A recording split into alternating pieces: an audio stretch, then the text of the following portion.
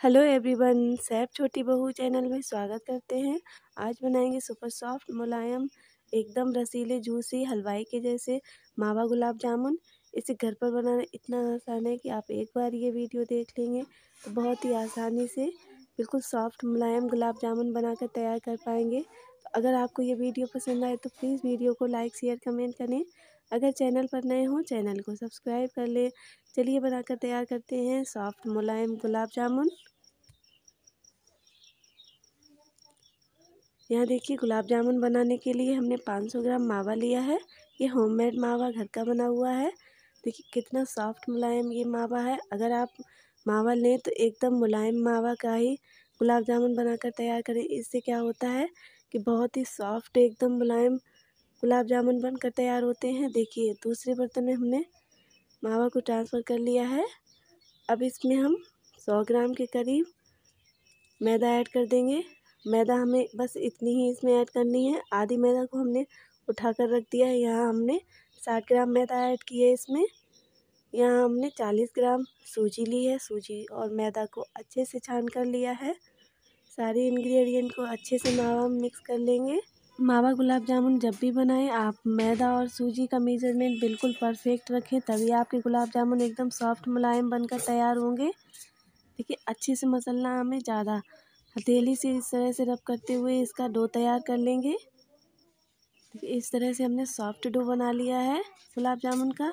अब यहाँ हम स्टफ्ड गुलाब जामुन बना रहे हैं तो इसके लिए थोड़ा सा मावा साइड में रख देंगे निकाल कर मावा गुलाब जामुन की फिलिंग तैयार करने के लिए हमने थोड़े से यहाँ पर कटे हुए, बारीक कटे हुए काजू लिए हैं। इन्हें अच्छे से हमने मिक्स करना है।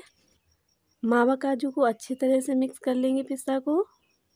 इस तरह से हाथों से मसल मसल कर सारी चीज़ों को मिक्स कर लेंगे। देखिए, हमने डो तैयार कर लिया है फिलिंग का। अब इसमें एकदम हलवाई जैसे बनाकर तैयार कर रहे हैं। तो थोड़ा सा इसमें येलो फ़ूड कलर ऐड करेंगे, जिससे कि ये अंदर से देखने में बहुत ही सुंदर लगते हैं इस तरह से। बिल्कुल एकदम हलवाई जैसे यहाँ थोड़ा सा हम पानी डालते हुए जो फ़ूड कलर ऐड किया, अच्छे से मिक्स कर लेंगे, जिससे जगह जगह फ़ूड कलर चिपका ना रहे इस तरह से स्पून से। इस तरह से स्पून से अच्छी तरह से मिक्स कर लेंगे फ़ूड कलर को। स्टफिंग तैयार कर ली। चलिए गुलाब जामुन बनाकर तैयार कर लेते हैं।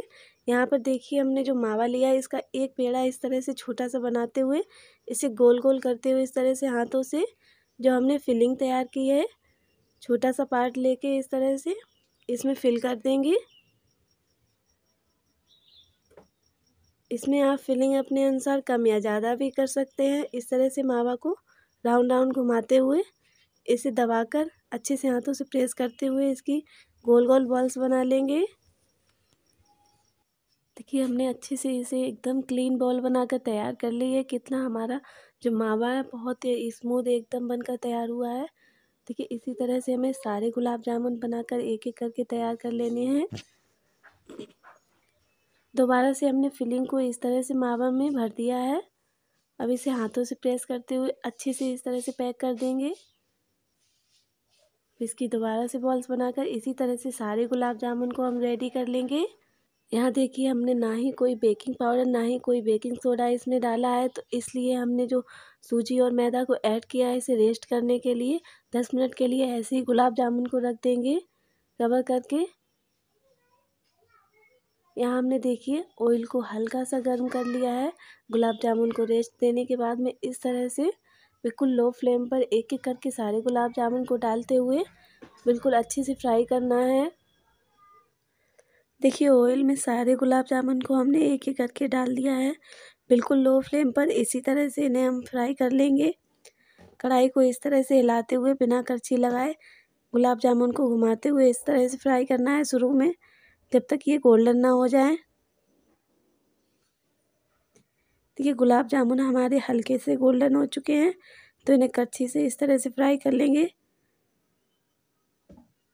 शुरू में गैस का फ्लेम बिल्कुल लो रखना है। जब ये गोल्डन हो जाए, तब मीडियम गैस करके इन्हें फ्राई करना है। देखिए, सारे गुलाब जामुन को इस तरह से हमने फ्राई करके निकाल लेना है। यहाँ हमने गुलाब जामुन की चाशनी को पहले से बनाकर तैयार करके लिया है। आधा किलो चीनी डालकर, आधा लीटर पानी में से बनाकर तैयार किया है। ये बिना किसी तार वाली चाशनी बनाकर तैयार की है। एकदम गर्म गर्म चाशनी में इन्हें डुबोना है। इनमें हमने थोड़ा सा ऑरेंज फ़ूड कलर थोड़ा सा इलायची पाउडर ऐड किया है। अब इन्हें कवर करके दस मिनट के लिए छोड़ देंगे। यहाँ पर दोबारा से जितने भी गुलाब जामुन हैं, उन्हें बिल्कुल लो फ्लेम पर गोल्डन ब्राउन होने तक अच्छे से सेक लेंगे। सारे गुलाब जामुन सीख गए हैं तो इन्हें भी कवर करके चाशनी में डुबो देंगे।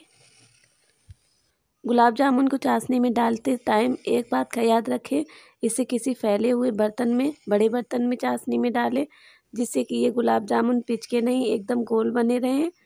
सारे गुलाब जामुन को कवर करके रख देंगे एक घंटे के लिए। देखिए सुपर मुलायम हमारे गुलाब जामुन बनकर तैयार हो चुके हैं। एकदम लग रहे हैं ना, हलवाई जैसे। बहुत ही टेस्टी, मुलायम, सॉफ्ट हमारे गुलाब जामुन बनकर तैयार हुए हैं। अंदर से इसका टेक्सचर दिखाते हैं। कट करके देखिए, कितने जूसी सुपर मुलायम गुलाब जामुन बनकर तैयार हुए इस तरह से इस रेसिपी को आप अपने घर पर ज़रूर ट्राई करें। अगर वीडियो पसंद आई हो तो प्लीज़ वीडियो को लाइक शेयर कमेंट करें। चैनल पर नए हो, चैनल को सब्सक्राइब कर लें। Thanks for watching my video